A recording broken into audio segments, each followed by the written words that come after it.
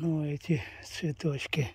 Одна сторона медали, а вторая вот этот кубовая. Это кубовая емкость. Вторая сторона медали, то бишь э, жижина, жижа из сброженных сорняков. Вот я очередную партию сюда бросил. И сюда же высыпаю сейчас ведро золы. И не одно ведро вот это 10-литровое, а еще вот здесь 10 20-литровое ведро.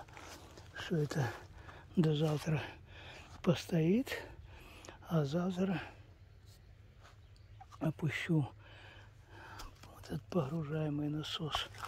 Вот эту емкость продырявленная завяжу вот этой мелкой сеткой опущу на самое дно вместе со шлангом подающим под хорошим большим давлением воду рядом с насосом и который будет вот эту зову замоченную поднимать со дна и насос станет выкачивать ее по длинному шлангу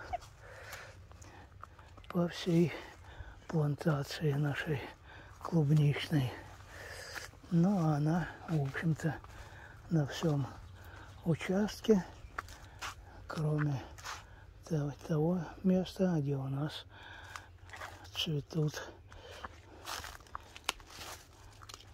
непрерывно цветы, начиная от первоцветов и заканчивая самыми поздними хризантемами. Ну вот так вот.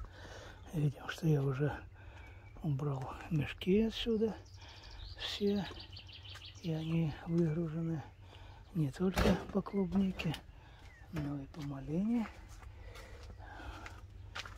И здесь, в общем-то, готово место для того, чтобы повесить гамак и уже здесь в летнюю теплую пору недождливую отдыхать,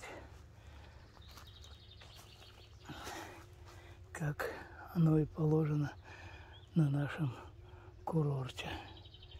Вот скоро ирисы расцветут, отцветут тюльпаны.